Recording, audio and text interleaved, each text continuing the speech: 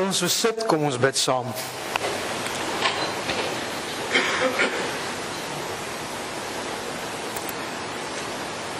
Hier ons kom vandag in alle afhanklikheid en nederigheid voor U. Hier ons sing, ons bely hoe groot U is. Dit die naam bo elke naam is, Here. Daarom wil ons vandag uit die woord uit verder gevoed word soos wat die Gees ons lei. Daarom bid ons, Here, kom vat beheer. Daarom pleit ons by U, Here, kom vat beheer dat ons ore, ons oë, ons harte, ons gedagtes en ons hele mens wees vandag toeganklik sal wees vir U woord. Here, dat U daardeur tot ons sal spreek, maar ook met ons sal spreek. En as ons hier uitgaan, ook deur elkeen van ons sal spreek vandag. Nie deur dit wat ons noodwendig sê nie, maar ook deur dit wat ons glo en bely en ook gaan leef. Bid dit in U naam. Amen. Die skriflesing van môre is uit um, Johannes 20 daarvan af vers 19 tot vers 31. Dis 'n redelike bekende teksgedeelte in die Bybel. Um dalk so 'n bietjie snaaks vir 'n geleentheid soos veroggendsinne, maar ons sal nou verduidelik. Die opskrif is Jesus verskyn aan sy disippels. Johannes 20 vanaf vers 19 in my Bybel op bladsy 153.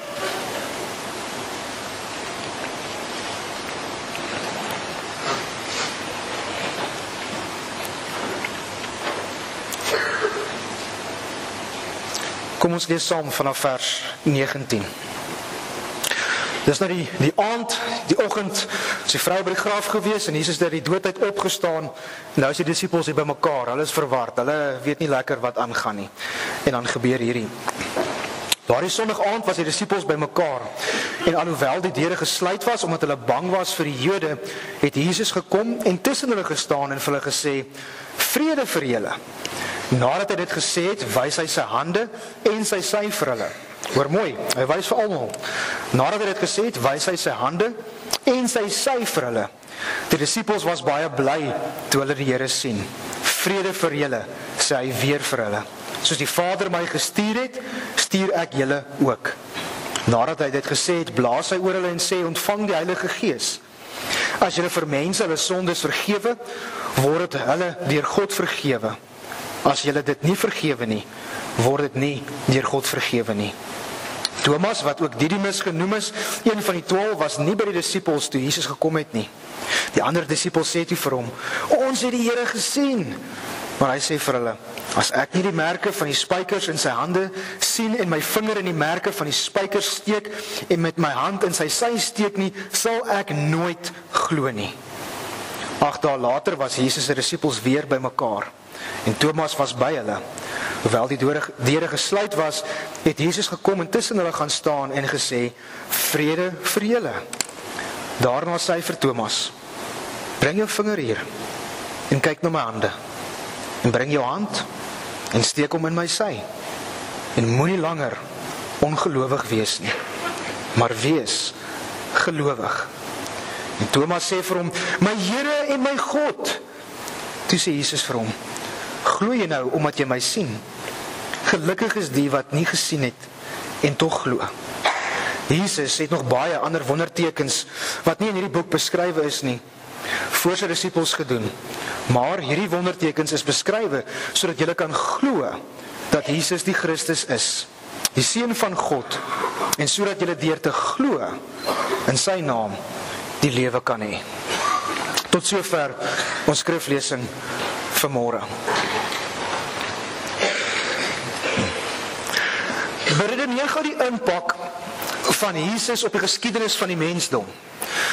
Sokrates het vir 40 jaar geleer, Plato het vir 50 jaar en Aristoteles het slegs vir 30 jaar. Maar Jesus het net vir 3 jaar mense geleer. Tog is die invloed van Jesus se 3 jaar bediening meer merkwaardig as die impak van hierdie 130 gekombineerde jaar van hierdie drie groot filosowe. Jesus het geen skilderye geteken nie of geskilder nie en tog het van die wêreld se bekendste skilderye, uh, skilders Raphael, Michelangelo, um, Da Vinci, um, hulle inspirasie van Jesus ontvang. Jesus het geen gedigte geskryf nie, maar Dante, Milton, NP van Wyk Lou, Antjie Krog en een van die wêreld se ander bekendste digters was almal deur Jesus geïnspireer. En Jesus het geen musiek gekomponeer nie, en tog het het Handel, Beethoven en Bach en ander hulle hoogste vlak van van van perfeksie en melodie behaal in die musiek wat hulle gekomponeer het in Jesus se naam om hom te eer. Jesus het ons wêreld beïnvloed en wil ons ook beïnvloed. Wat gebeur wanneer Jesus in jou lewe opdaag? Dis 'n vraag wat drie jong mense vandag en hulle hele lewe lank al vra. Die feit dat hulle vandag hier so sit is 'n getuienis van wat gebeur met jou lewe as Jesus opdaag.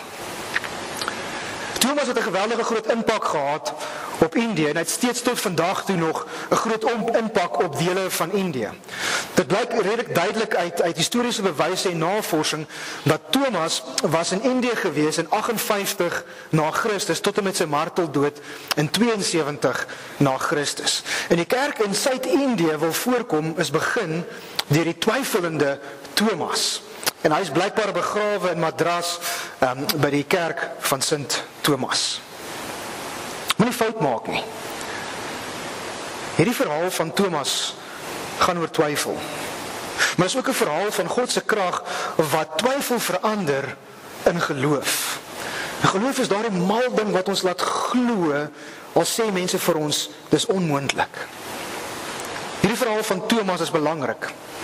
Want wanneer ons ons die onmoontlike kan sien deur ons eie bewolkte oë, dan sien ons skielik 'n hele nuwe wêreld wat vir God moontlik is. God het die graf oorwin. En hy oorwin ook die dinge wat lei tot ons dood. Dinge soos ongeloof, vrees, twyfel, haat, kleinsieligheid. Geloof en begrip begin eers nadat Jesus homself persoonlik aan ons bekend gemaak het. Soos wat hy gedoen het met elkeen van sy disippels. Dieselfde met ons. En ons bly in ons eie negativiteit tot wanneer die Here deur ons geslote deure van ons harte breek. So die wonderlike nuus is is dat God soek ons en hy vind ons. Selfs al wil ons nie deur hom gevind word nie. Selfs ons sluit ons osself af van die wêreld, selfs al probeer ons die goeie nuus weghou, steeds breek Jesus deur. So die vraag is sal jy glo? Sal jy steeds bly glo in die opgestane Here Jesus Christus. In onlangse studie is daar 'n verrassende statistiek wat na vore gekom het. En dit is een uit elke 4 Christene, dis 25%, dis my wiskunde nie verkeerd is nie. 25% Christene twyfel oor die bestaan van God. 25%. By die Jode is dit nog so 'n bietjie meer erger. Onder Jode is dit 60% wat twyfel oor die bestaan van God. 60%. Daar weet hierdie is mense wat aan 'n godsdienstige groep behoort. Hulle gaan kerk toe, hulle gaan sinagoge toe. Hulle ondersteun die kerk of die sinagoge met 'n bydrae. Hulle woon lid um, eredienste by en alles. Maar hulle twyfel. En hoe werk dit? 25% van ons gemeente wat vandag hier so sit, twyfel in die bestaan van God volgens hierdie statistiek. 60% van Jode Die apostel Johannes sou verstom gestaan het as hy dit moes gehoor het. Want reg deur die evangelie plaas Johannes baie klem op geloof. Byvoorbeeld Johannes gebruik die Griekse woord pisteuo wat beteken om te glo amper twee keer soveel keer meer as al drie die evangelie ander evangelies gekombineer. En van die evangelie van Johannes is die enigste boek in die Bybel waar ons lees Want so lief het God die wêreld gehad dat hy sy enigste seun gegee het sodat die wat in hom glo nie verlore sal gaan nie, maar die ewige lewe sal hê.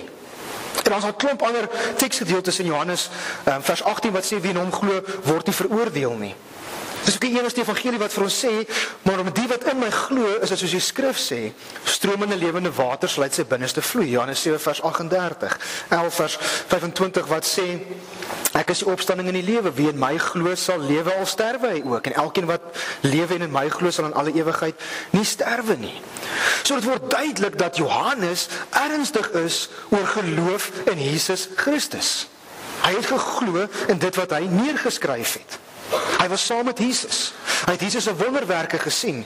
Hy het Jesus se leerling leringe gehoor, hy het na hom geluister.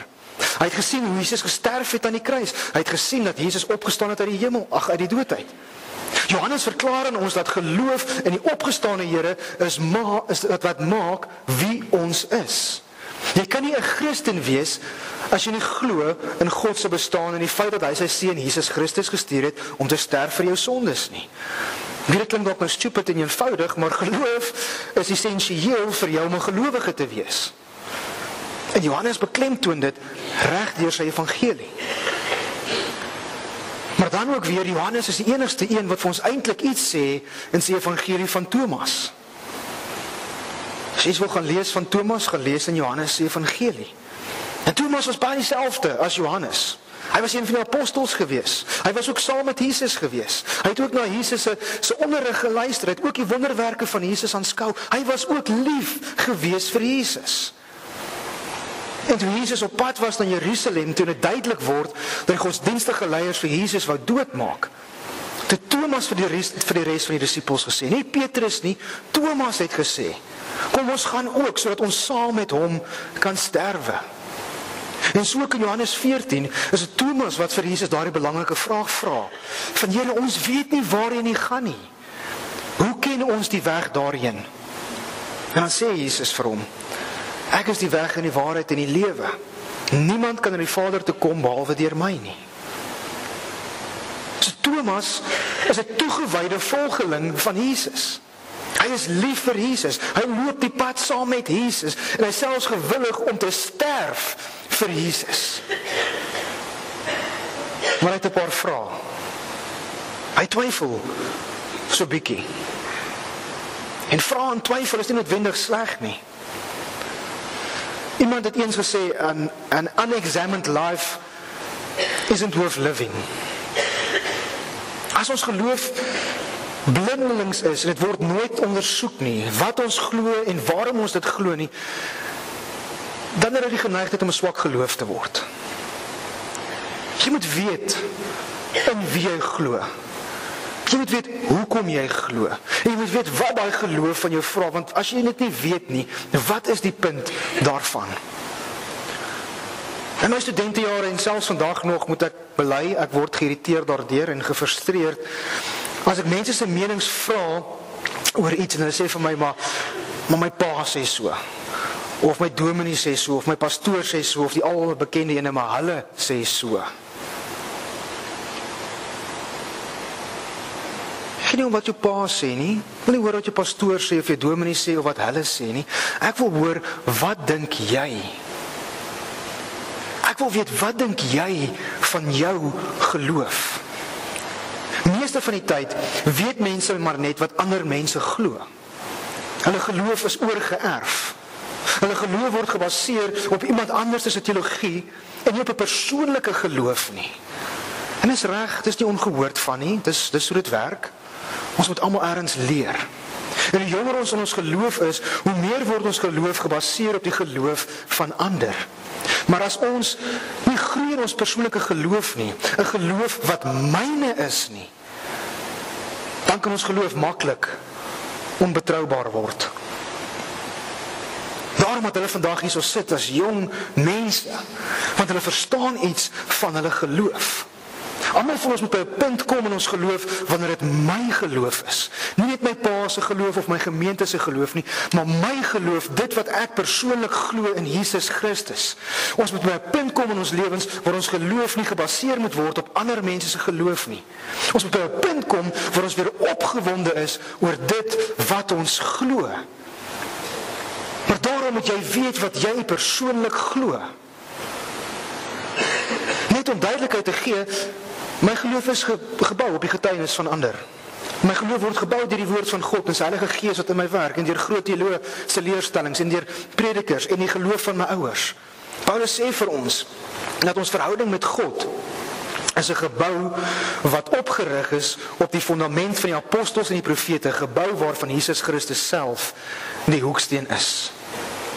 Maar Thomas van niks hiervan weet nie. Hy skiep dit alles sommer. Hy wou nie eens nadink oor die onwrikbare getuienis van 10 wat sy beste vriende vir 3 jaar vir hom gegee het nie. Hulle almal was ge, was opgewonde en oortuig gewees van wat hulle gesien het. Almal het vir hom gesê, "Ons het die Here gesien." Maar Thomas verwerp hulle woorde heeltemal. En meeste van ons ken daai bekende woorde van hom wat hy sê as ek nie die merke van die spykers in sy hande sien en my vinger in die merke van sy spykers steek en my hand in sy sy steek nie sal ek nooit glo nie. Verstaan mooi, Thomas is nie vergelustig teenoor God nie. Hy probeer nie onredelik wees nie. Hy is net te verward en moedeloos dat hy nie bereid is om enigiets minder te aanvaar nie. En so wys Jesus vir hom genade. Hy gee vir Thomas wat hy nodig het op daardie oomblik. Hy help Thomas om verby die intellektuele geloof weg te beweeg na 'n persoonlike geloof toe. Dit is so geweldige geweldige ervaring vir Thomas dat hy op sy knieë neerval en uitroep: "My Here en my God." Tot op daardie oomblik het Thomas werklik geglo en was hy heeltemal verander, getransformeer. Thomas kop dit, hy verstaan dit, maar nou op 'n baie meer dieper manier. Jesus was eens Here. Hy is nou Here en God, hy is nou my Here en hy is my God. Nie disippels of Sunny of Janie of Gerrit se nie, hy is nou my eie persoonlike verlosser, my eie Here. En ook my God. En dis waar ons almal eers in ons lewens moet kom, eintlik elke dag by ons lewens moet kan kom en kan sê, maar ek bely, U is my Here en U is ook my God. Jesus raas nie met Thomas nie. Hy vermaan hom nie. Inteendeel, hy gee vir hom vrede, genade en vergifnis. En soos Thomas gaan daar tye kom in ons lewens waar ons geloof uitgedaag word, waar daar tye van twyfel gaan wees. Die goeie nuus is is dat God ons moet ons waar ons is en hy gee vir ons sy vrede. Hy laat ons nie altyd daar in twyfeling sit op moedverloorse vlaktes nie. In ons tyd van twyfel sal hy ons sal ons soek en ons sal ondersoek en ons sal bevraagteken en wanneer ons doen sal ons 'n beter en 'n dieper verstaan van God en ons verhouding met hom ontvang. Want Jesus nooi ons uit om hom te ondersoek, om hom te leer ken. Te God meet jou hart. Hy meet nie jou kop nie. So wanneer God wanneer God 'n mens meet, meet hy afstand om jou hart en nie die afstand om jou kop nie. Thomas wou nie glo nie, want sy kop het vir hom gesê, maar is onmoontlik. Jesus kan nie uit die dood uit opstaan nie. En toe die lewende Here Jesus egter aan hom verskyn, het alles verander. Toe het sy hart begin praat. En oorweldig kon hy sê, "My Here en my God." Ons kop weeg partymal so swaar dat dit ons hart dooddruk. Ons wil graag so slimmer wees en ons wil regtig waar die God probeer uitredeneer en hom uitpleis want ons dink ons kan, maar niemand het dit nog ooit reg gekry nie. Ons kan nie vir God uitpleis nie. Hy is God, ons is mense. Daarom sal ons ook die opstanding altyd met die kop, met die verstand kan uitredeneer as ons nie eers begin om met die hart dit te glo nie. Dis iets wat ons met ons hart omhels. Met ons swaar kop ons soms toelaat vir ons kans gee. Ons het die hart ook nodig, nie net die kop nie. En eers wanneer ons hart vol word van geloof, sal God begin glimlag oor wat sy maatband vir hom vertel van jou.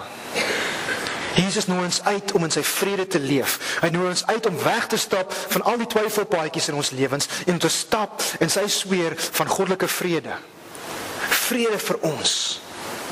En ja, ons land het vrede bitter nodig. En oral is daar geweld en as die mekaarheid en lewe het goedkoop geword en vrede het 'n skaars artikel geword. En tog praat die evangelie van vrede. Maar let wel van Jesus se vrede. Sy vrede wat anderste is as die wêreld se is.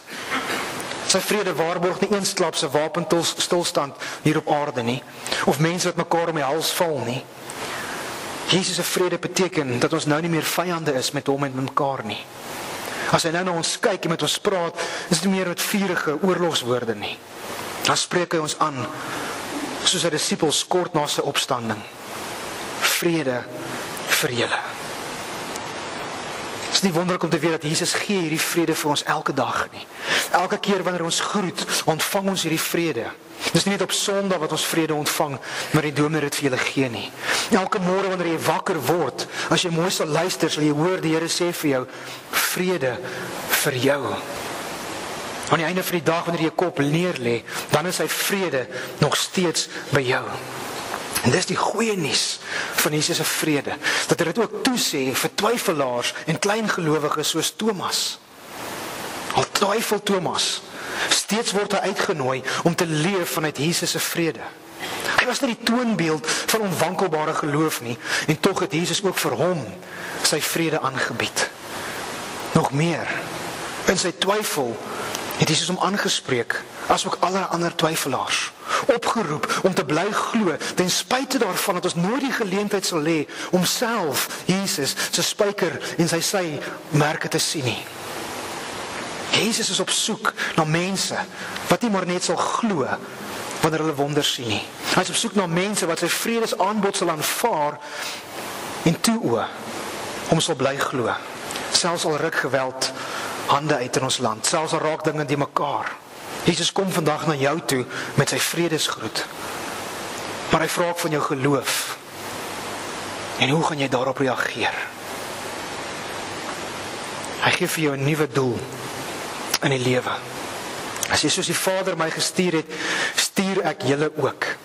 'n Verandering vind plaas in hierdie disippels.